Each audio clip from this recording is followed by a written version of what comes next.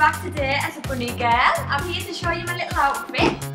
We have the little cute bows, which is totally cute. We've Got the little bunny tail at the back, which is just perfect. It just crosses up the back there. So it's easily fastened fastenable, so you can make it as loose as want, as tight as you want. Right, I'm going to put the bunny ears on for you, because obviously that's the complete of the outfit.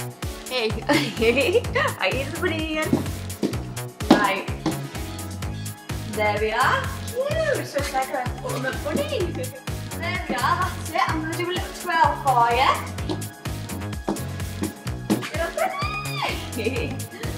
Ah, better than normally. Got the little bunny here. Cute.